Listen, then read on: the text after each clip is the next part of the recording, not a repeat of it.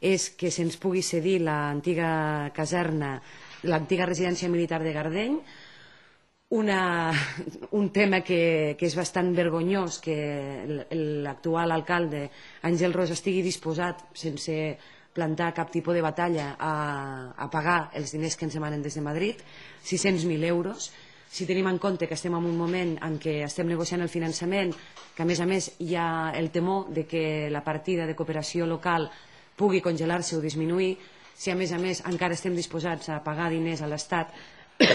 creiem que això no ho podem consentir. Per tant, a través de... Diem, lamentem molt que